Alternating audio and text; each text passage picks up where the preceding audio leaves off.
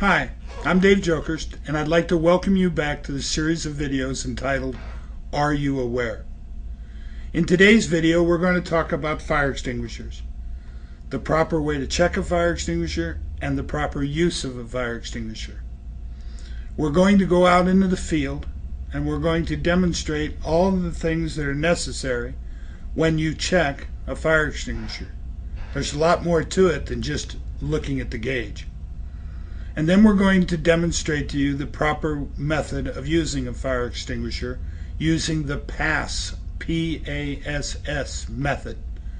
Pull, aim, squeeze, and sweep.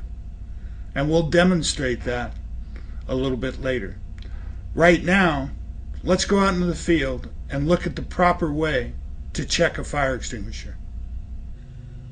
The six steps to properly check a fire extinguisher. Today we're out at our Lucerne rock plant to do our monthly inspections of fire extinguishers. MSHA requires that we check fire extinguishers on a monthly basis and replace any of them that might be damaged or discharged. The six steps to properly check a fire extinguisher include Step 1 Read the gauge. Step 2 Check the tags. Step 3 Check the hose for obstructions. Step 4 Check the mount. Step 5 Remove the fire extinguisher and invert it five times. Step 6 Recheck the gauge. If the gauge has moved any from the previous inspection, replace the fire extinguisher because this one's ready to go bad. After replacing the fire extinguisher in its mount, check it to make sure that it's securely fastened. Let's review the six steps. Step 1. Check the gauge. Remember the location of the needle. You'll need it later. Step 2. Check the tags to make sure that this fire extinguisher was not only checked last month, but that the inspection tag mounted on the fire extinguisher itself is current and up to date.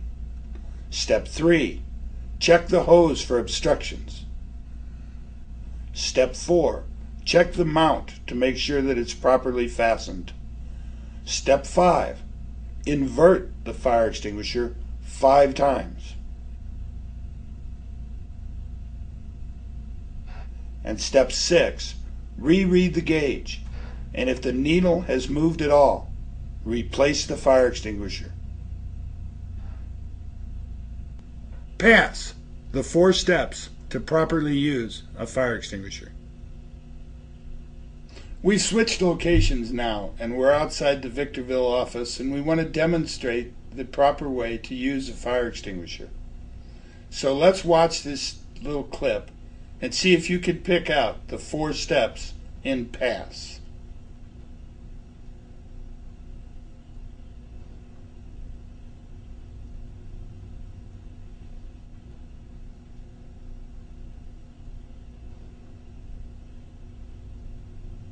Now let's talk about the four steps. Pull, aim, squeeze, and sweep.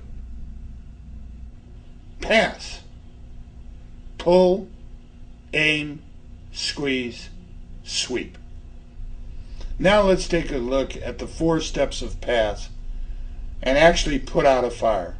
Step one, pull the pin. Now notice how I'm holding the fire extinguisher when I go to pull the pin. I'm not holding it by its handle.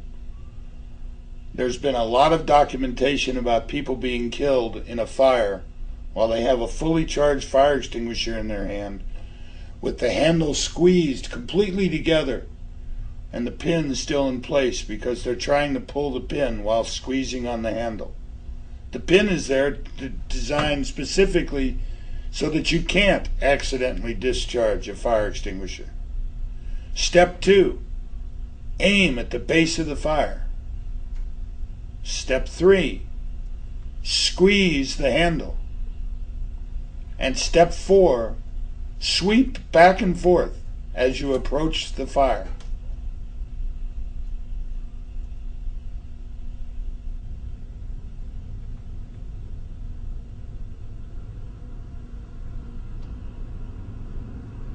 Notice that the fire extinguisher has now been laid on the ground. This is an indication that this fire extinguisher has been used. So in case of an emergency, you won't necessarily pick up an unused fire extinguisher. In today's video, you saw the six steps to properly check a fire extinguisher, and you saw the four steps to properly use a fire extinguisher using the PASS P-A-S-S method. But what does this all really mean? What really is a fire extinguisher? We know that it's designed to put out fires. But in one of our earlier videos, we said that a fire extinguisher was a piece of personal protective equipment, or a PPE. What does that mean?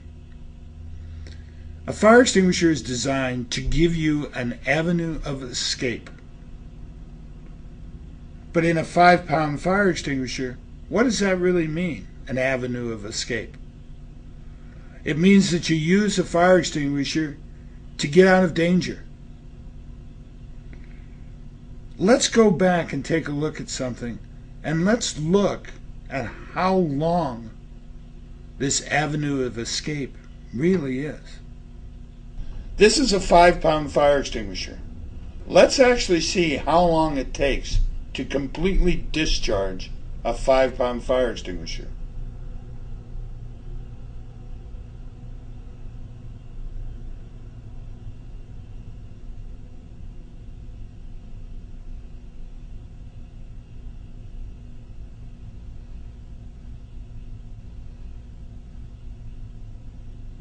It took a little over 18 seconds. But now let's take another look at this. And I want you to notice now the volume and the distance that the fire extinguisher is actually carrying right now. And notice how that distance and volume changes. After seven seconds, we've lost a foot at least of distance. No way you can tell how much volume other than just a visual look as we continue to show, when you get down to around 14 seconds, there's hardly anything coming out. We've lost at least another foot, if not two foot, in total distance. Realistically, you've got between 7 and 14 seconds to get out of harm's way. 7 seconds, look at the distance and volume. 14 seconds, less distance, less volume. And 18 seconds, a 5 pound fire extinguisher is empty. You just saw how long it took to fully use up a fire extinguisher. We also talked about the fact that you've got realistically between 7 and 14 seconds to provide an avenue of escape. Hopefully, all of you have a fire extinguisher at home. Hopefully, after today's video, you'll go home and you'll properly inspect that fire extinguisher so that it works in case you ever need it. From what you've seen in today's video, I hope that you will understand that safety is more than just something that happens at work certain safety items you have to take home with you. And you have to use those safety practices at home. If you take what you saw in today's video home with you, you take it back to work with you, and you ever have to use a fire extinguisher, hopefully you'll remember